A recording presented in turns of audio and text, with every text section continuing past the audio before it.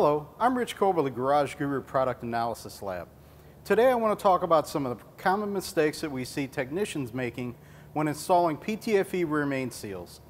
PTFE stands for polytetrafluoroethylene, which is a synthetic polymer, much different from the rubber seals that are most commonly used. When installing rubber seals, a lubricant should be applied to the main sealing lip area. A common mistake we see is the use of lubricants when installing seals that have a PTFE main lip. Using a lubricant of any kind on PTFE seals will cause almost immediate leakage. Seals of this design should be installed dry onto a dry crankshaft sealing journal. A chemical in the PTFE material transfers to the crankshaft sealing journal and a leak-free surface is made, resulting in zero comebacks. I'm Rich Kolb with the Garage Guru Product Analysis Lab.